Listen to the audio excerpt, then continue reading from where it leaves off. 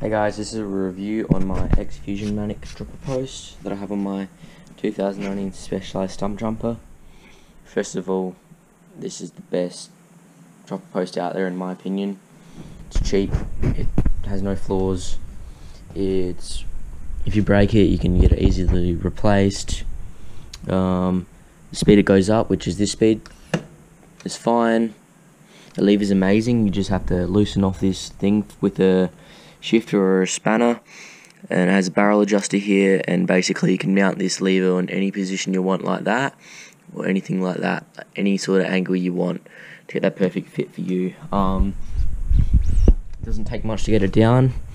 I've never lubed the stanchion on it and it's fine. Haven't taken anything out of the stanchion. Seals works really well. I just clean off the stanchions after every ride it's got a bolt here and a bolt here. Um, pretty sure if you take them off and take that top piece off that holds the seat down, um, you can replace the cartridge.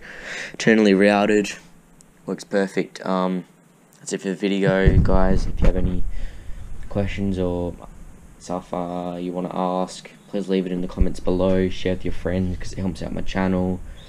Um, like this video so I know that you like me reviewing different products and subscribe obviously because why not? And you get post notif and you get you know that my channel's doing well so it will push me to upload more. So yeah that's it for the video guys. Please like subscribe share and comment